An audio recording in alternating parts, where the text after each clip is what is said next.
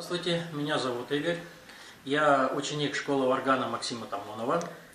А, с детства я был уверен, что музыка не для меня, так как у меня отсутствует музыкальный слух.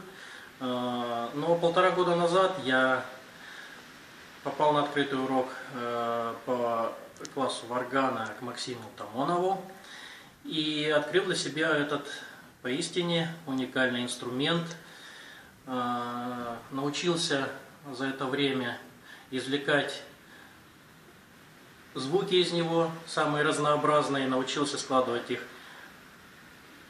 как мне кажется, в мелодии. Но насколько мне это удается судить вам. Ну, а сейчас небольшая импровизация.